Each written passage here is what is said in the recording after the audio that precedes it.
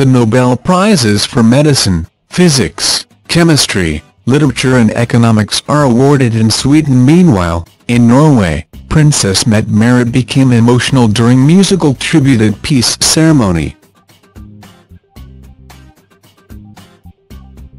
The Crown Princess could be seen wiping a tear from her eye during a rendition of a Bob Marley song. The Swedish royals dusted off their tiaras for ceremony in Stockholm with Victoria donning heirloom tiara.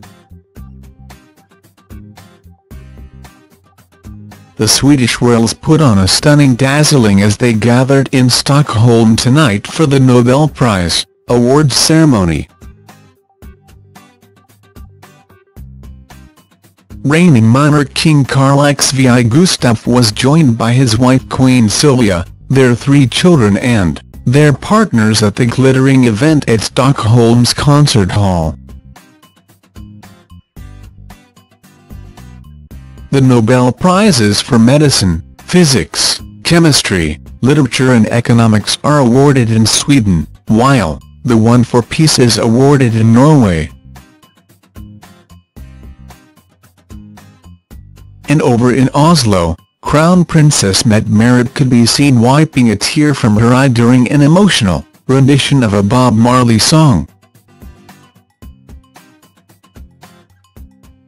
Silvia, 73, looked impeccable in a vibrant magenta dress and ceremonial sash, while her eldest daughter, Crown Princess Victoria, 40, stunned in a sweeping powder blue number.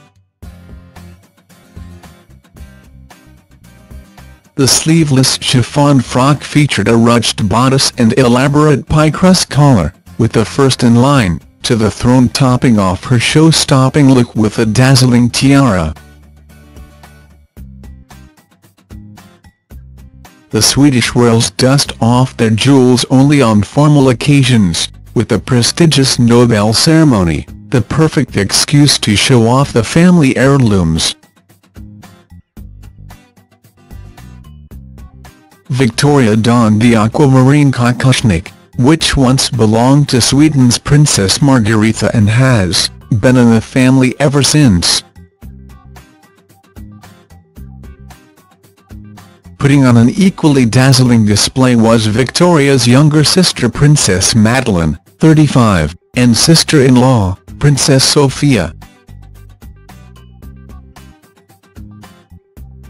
Sofia donned a jaw-dropping nude gown, while Madeleine's ensemble featured sparkling pink embellishment, and a sweeping skirt.